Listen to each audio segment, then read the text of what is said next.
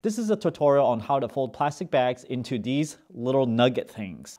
So most likely it's not gonna be that big. You probably squish them down a little bit, kind of like, like that, right? So you got three plastic bags right here, squashed down somewhat. But if you fold it, it would look very nice like this and just a lot more manageable. So let's get to it. I'm gonna start with a one-time use bag. You first straighten it out, put your thumb in the bottom corner and also in one of the handles and just pull it apart like that. And also do it to the other side, pull it apart.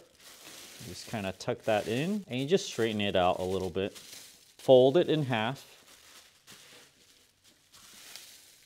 Now fold it two times. One, two.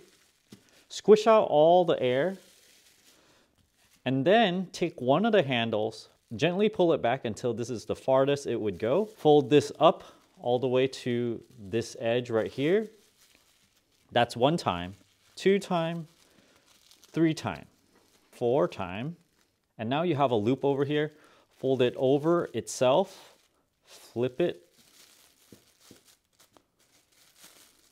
flip it so that it's nice and neat. And then you just wrap this around itself until you used up the whole loop. So you turn it 180 degrees, wrap it over, turn it 180 degrees, and wrap it back. Turn it another 180 degrees, wrap it back. Now you got this self-contained little piece of bag. When you need to use it, just pull it open and it opens up pretty easily. I'm gonna do it with a reusable bag now. Put your thumb at the bottom corner and also one of the handles. Pull it taut. And also put your finger at the other side of the bottom of the bag and also the handle and pull it taut. Now we flatten it out like this, flatten out the handles if you need to. And we just do the same procedure. Fold it in half.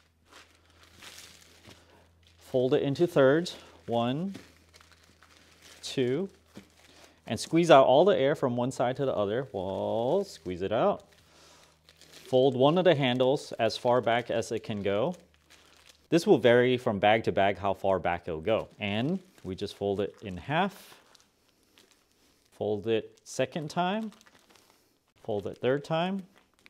And this is about good. Then we get back to the loop here and fold it onto itself. Just kind of flip it over, flip the handle over like that. and then you twist it 180 degrees, flip it onto itself, and you see this time it only takes one time for it to secure itself and just massage it a little bit to make the inside a little bit bigger in case sometimes you have a little bit of slack on here and now you got it all nice and folded. Here are all the bags I folded so far. This is one of my earlier prototypes and I tried to tuck it back into itself, but this was a little bit too much work. As you can see, this is a Target bag. I can just do it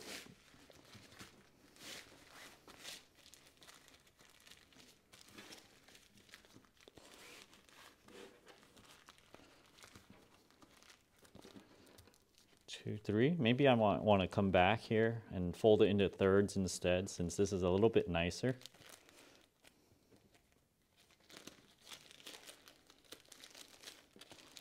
Flip it over,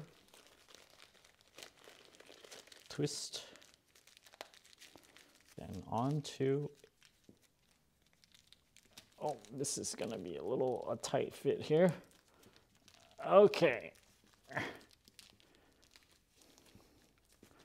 Sometimes you have these little tabs that are coming out. These are from the holes that holds the bag onto the bag holder. So you can just kind of tuck it in to be neat about it.